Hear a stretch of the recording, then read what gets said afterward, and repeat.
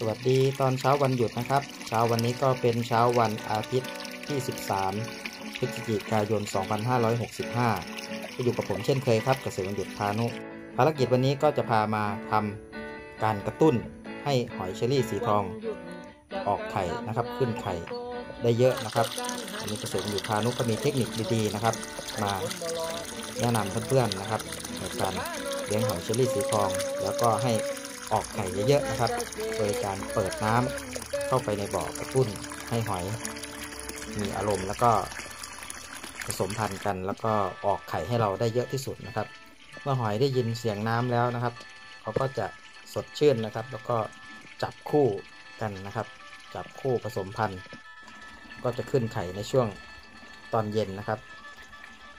ช่วงนี้หอยก็กำลังจับคู่นะครับหาคู่ผสมพันธุ์กันนะครับ ก็คือเป็นเทคนิคง่ายๆนะครับ ก็คือเปิดน้ำนะครับ สร้างบรรยากาศให้หอยนะครับ หอยเชอรี่สีทอง เนื้อทองก็คือช่วงนี้กำลังได้รับความนิยมเยอะนะครับ ตลาดหอยเนื้อก็เปิดรับซื้อแล้วนะครับ หอยที่เลี้ยงในบ่อผ้าใบจะเปลือกสวยกว่าหอยที่เลี้ยงในบ่อซีเมนต์นะครับ บ่อซีเมนต์จะมีตะไคร้น้ำเกาะนิดนึงนะครับ เปลือกจะไม่ค่อยสวยเท่าไหร่นะครับ ส่วนหอยที่เราเลี้ยงใน กระชังผ้าใบนะครับ ก็จะมีสีสันสวยงามนะครับ การให้อาหารก็เป็นพืชน้ำนะครับ ให้กินพืชน้ำเมื่อหอยได้ยินเสียงน้ำเห็นะครับเขาก็จะจับคู่สมพันธุ์ขึ้นไปไข่นะครับ เราก็จะเก็บไข่พวงใหญ่ ๆนะครับ ส่งให้เพื่อนๆที่สั่งจองไว้นะครับ ส่วนไข่เล็กๆ เราก็จะมาเพาะขยายพันธุ์ไว้ในฟาร์มเรานะครับ เพื่อที่จะขุนเป็นหอยเนื้อต่อไปนะครับ เพื่อนๆที่ได้รับไข่หอยไปก็จะได้เฉพาะชุดหอยที่คัดคุณภาพให้นะครับ การเลี้ยงหอยเชอรี่สีทองก็ถือว่าเป็นอีกหนึ่งอาชีพนะครับที่กำลังมาแรงนะครับ เลี้ยงแล้วไม่ผิดหวังแน่นอนนะครับ เพราะว่าประโยชน์ของหอยเชอรี่ ไม่ว่าจะคุณค่าทางอาหารมีมากมายนะครับ ใช้ประโยชน์ได้ทุกอย่างนะครับ เนื้อก็สวยนะครับ โปรตีนสูงนะครับกินแล้วก็มี วิตามิน แร่ธาตุต่างๆ ที่เป็นประโยชน์ต่อร่างกายนะครับ การต่อยอดผลิตภัณฑ์หอยเชอรี่สีทอง ก็กำลังออกมา